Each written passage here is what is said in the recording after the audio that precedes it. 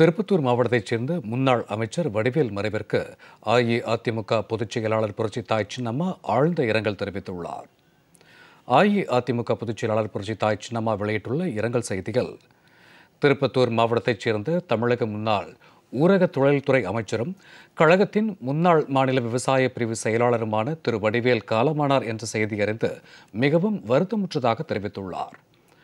அன்பு சகோதரர் வடிவேலை இழந்தபாடும் அவருடைய குடும்பத்தினருக்கும் நண்பர்களுக்கும் கழக தொண்டர்களுக்கும் தமது ஆழ்ந்த இரங்கலையும் அனுதாபத்தையும் தெரிவித்துக் கொள்வதாகவும் அன்னாரது ஆன்மா இறைவன் திருவடி நுழலில் இழைப்பார எல்லாம் வல்ல இறைவனை வேண்டுவதாகவும் புரட்சி தாய் சின்னம்மா குறிப்பிட்டுள்ளார்.